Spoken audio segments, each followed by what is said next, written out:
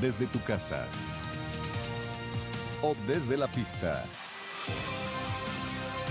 Haz parte de la carrera cuando apuestas en ExpressBet.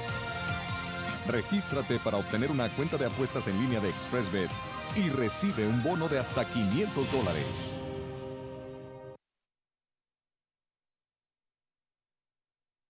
Todo listo, mis amigos, para la sexta competencia de la tarde. Es la segunda válida del Rainbow Six. Un reclamo de 8 mil dólares para caballos de 3 y más años de edad en distancia de una milla y 16 avos. Retirado el 1 y el 14 de esta competencia. Entró el 13 avo debido al retiro del 1. Muchísima suerte a los que están acertados en el Rainbow Six. Quedan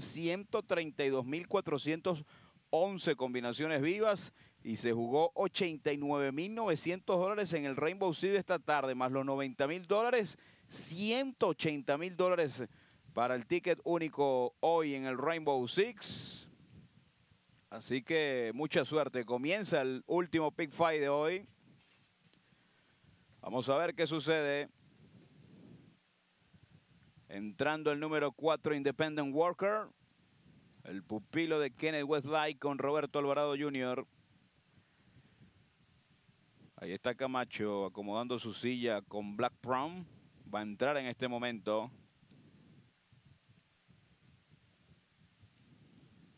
Viene a hacerlo ahora el número 6, Powerline.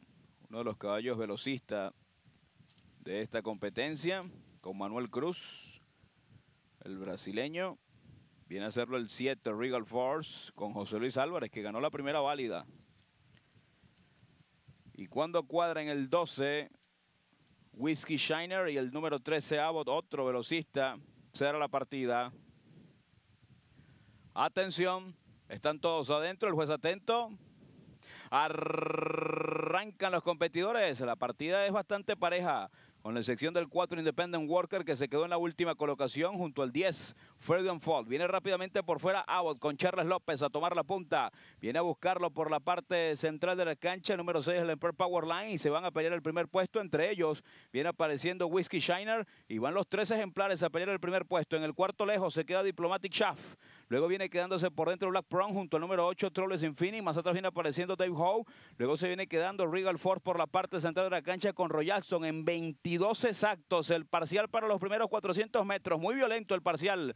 Está en punta el ejemplar Abbott. Powerline se queda segundo. En el tercero el ejemplar Whiskey Shiner. En el cuarto Diplomatic Shaft. Al quinto mejora bastante Black Prom por el centro. Viene pasando al cuarto. En el sexto se viene quedando Trolls en Phoenix. Más atrás aparece Debbie Howe por dentro junto al ejemplar Regal Force. Luego se viene quedando Royalton en los últimos lugares con Freedom Fall. 46-4 el parcial para la media milla. Está en punta Abbott. Powerline lo sigue persiguiendo. Black Brown va a buscar la carrera. En el cuarto pasó Diplomatic Shaft. El quinto Trolls en Phoenix. Desde el fondo mejora bastante Debbie Howe por dentro. Se lo por la parte central de la cancha. El ejemplar Freedom Fall. Y desde el fondo intenta moverse también el número 9. Está en punta. El ejemplar Abbott ataca Black Brown junto a Diplomatic Shaft. Hace lo propio el 4. Independent Worker. Debbie Howe trata de meterse en la pelea. Y desde el fondo insiste el número 10. El ejemplar Freedom Fall en 1-12-3. El parcial para los seis furlones cuando ingresan ya a la recta final de Ghost Park West. Black Brown está en punta. Insiste Dave Howe por la parte central de la cancha contra el puntero. Dominando Black Brown la competencia. Dave Howe por la parte central de la cancha sigue insistiendo. Dominando Black Brown